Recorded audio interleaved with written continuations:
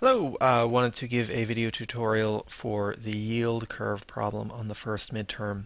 That's problem number uh, 8 on version A on some people's exams and it's version number 15 on others. In this problem, you have a mound-shaped yield curve uh, for a one-year maturity, i.e. a short-term borrowing rate. It's down at uh, 10 at uh, sorry at 5% Oh, there we go. Uh, for a 10-year maturity, it's up at 10%, and then for a 20-year maturity, uh, it is back down to 5%. So I think the problem was maybe a little bit ambiguous. You weren't sure whether this is a one-year maturity or a one-day maturity. It doesn't matter. You can interpret it however you want. Uh, for simplicity, I'm going to interpret this as the one-year maturity. Okay, uh, it mentions uh, that you're supposed to use the equation from the liquidity premium theory to justify your answer.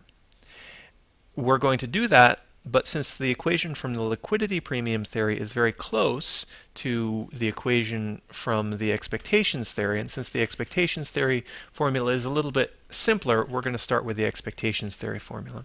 If you have any questions about these, uh, the expectations theory formula is formula number 2 on page 129, and the liquidity premium formula is formula number 3 on page 132, so you can check that. Anyway, if you so we're going to be working with formula 2 for most of the time, and then we'll move forward later on. So let's uh, apply that formula to one year, two year, three year, four year, and five year bonds. This is just kind of a simple exercise. It's just basically saying that if you want to buy a two year bond, then you take the average of the current and next year uh, short term rates, add them up and divide by two. If you want a three-year bond, you take the average of the current, next year, and year after rates. If you want a four-year bond, it's the current, next year, year after, and year after that rates, etc. Fairly simple. Now, as we go back up to the yield curve, let's see what we know about these. We know that the current rate is 5%, but that it goes up after that. You, see from the, the curve sloping upward like that. Now, we don't know how steeply it is uh, moving upward. Um, so yeah, it goes up like that. We don't know how steeply it's going upward, so we don't. You can't tell from the graph exactly what the the two period interest rate is. But for simplicity, let's just assume uh, that it's six percent, just for pedagogical to explain it.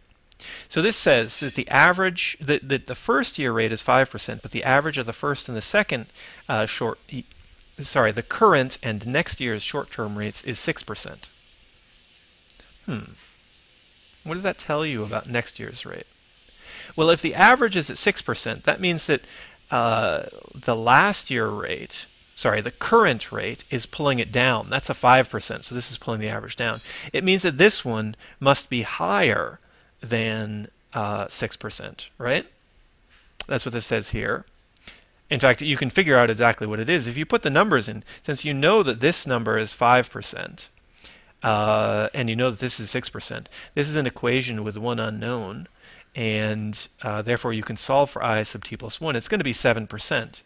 But in general, since we don't know that this number is 6%, all we really know is that this number must be bigger than this number, because this number is the thing which pulls this average upward. Okay, simple enough.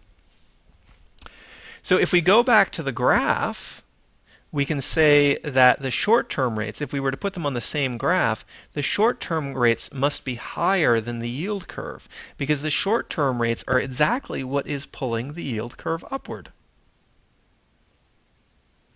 Let's look at the three-year bond to see if we can clarify this a little bit more. Again, we don't know what the three-year uh, what the interest rate is on the three-year bond. But we do know from the expectations theory that the interest rate on the three-year bond is going to have to equal the average of the current short-term one-year rate uh, and next year's one-year rate and the one-year rate from the year after. Well, since the average of these two is just going to be equal to the two-year rate, we know that the average of these two is going to be lower than the average of all three, right? We said before that the average of these two is 6%, and the average of all three is going to be 6.5%. And that means that this guy, this third term, must be pulling the average up.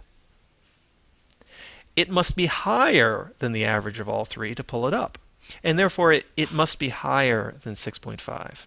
Again, what that means is that the short-term rates are going to be higher than the yield curve. Likewise, uh, for the four-year bond, we know that the average of all four of these guys has to be higher than the average of all three of these guys because the average of all four of them is the four-year rate, whereas the average of just these three is the three-year rate. That means that this, this future short-term rate, must be higher uh, than the corresponding multi-year rate, i.e. I sub 4t. So I sub t plus 3 must be higher than I sub 4t, which means again that the short-term rates are higher than the um, than the multi-year rates, and so on. So we've got this. This is how you you graph the short-term rates next to the yield curve. Well, what happens when you get to the top of the yield curve? First, let me say that in general, what this means is that when the yield curve is sloping up like above, the short-term rates must be even higher than the yield curve. Let's take a look at what happens when it's sloping down then. So let's go 10 years out. We're going to here and comparing that with 11 years out. If we say that uh, the interest rate on a 10-year bond is this average and that it equals 10%, and the interest rate on an 11-year bond is this average, and it equals something a little bit lower uh, than 10%. Sorry, that's a typo. We'll say that that's 9.5 and that's 9.0. Uh, then, and since these terms are all the same as these terms, it must be this term which is bringing it down and making it less than 10%, i.e the 11 year interest rate is just the average of these 11 terms. And since these first 10 terms have an average of 10%, it must be this guy that's bringing it down. So by the time we get out to the 11th year, it must be the case that the short-term rate is lower than the yield curve. So the short-term rates are going to kind of go up like this, and here at the beginning, in this region, they are pulling up the yield curve. But now, once the yield curve reaches its peak and it starts to go down, they must be pulling down the yield curve. The same argument can be made from the rest. Each time you go along, you're adding an additional term. Here you're adding uh, this uh, t this uh, i sub t plus 11th term, and you're bringing down uh, the, the multi-year interest rate, i.e. the 12-year interest rate, to be uh, lower than the 11-year interest rate, it must be that I sub t sub 11 is less than I sub 12t, i.e. the short-term interest rate must be lower than the uh, multi-year interest rate. So your short-term interest rates are going to look like this. And it's going to be right here at 10 years where the two curves intersect, because that is where the yield curve is flat. Okay, so that is um, that is what this indicates about expectations regarding future short-term interest rates. Mostly what you need to get here, the most important thing is that up until the 10th year, uh, the the um, short-term interest rates are going to be higher than uh, the multi-year interest rates. That's what we saw here. Uh, th then the corresponding interest rates, i.e. that um, the expected value of I sub t plus 2 must be higher than I sub 3t, i.e. the short-term bond that ends three years out has to be have a higher interest rate than the three-year bond uh, that starts right now. And the short run bond that ends uh, four years out has to have a higher interest rate than um, the four-year bond that starts right now, etc.